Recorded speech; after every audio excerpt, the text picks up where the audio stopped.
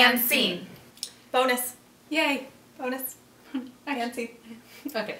Uh, we saw Harry Potter. And by we, I mean me. Oh, that's how I feel Here about the movie. that I didn't see. What are you wearing? Um, we decided on robes. I said wizarding robes. That's that's a bathrobe. I mean, a robe's a robe. No.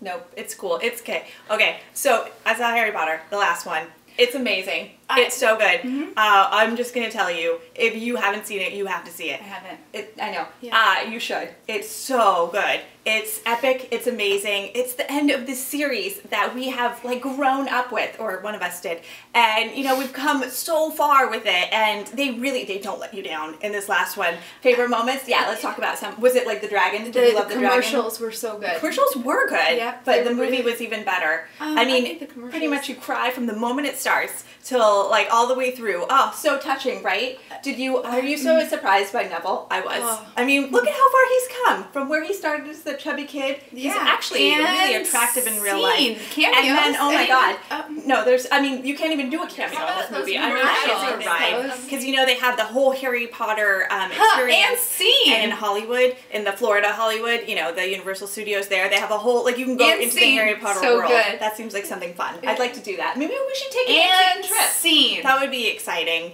Okay, something else that I love. And I scene. love, love, love Ron. He's been my favorite throughout this And entire scene. movie. And he, again, fantastic. But I just love, you know, it's all the characters. I don't want your wizarding fake robes. Um, okay, Now so you've got all of the characters now. And now it's the battle, the epic battle. Oh my god, let's talk about Molly Weasley going after Bellatrix. Uh, yeah, some cheering in the theater right? on that one, Um, right? yeah, Then know, we've yeah. got, let's see, uh, the Draco. You know, I like that they didn't make him go all the way good. You know, like he wasn't redeemed. He was just kind of like not as horrible. Like that was a nice choice for the Malfoys, I thought. You know, they it wasn't pandering to anyone. Um, I also, I thought that, um, the, oh, got dark.